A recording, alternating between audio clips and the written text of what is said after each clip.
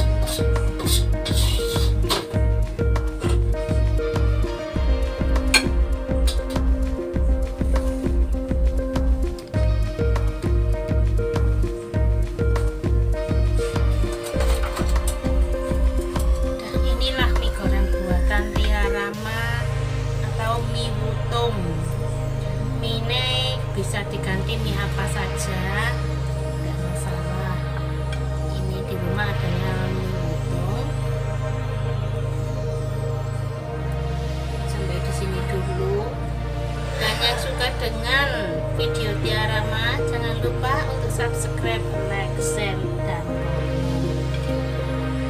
sampai di sini dulu video Tiara kali ini. Dan assalamualaikum warahmatullahi wabarakatuh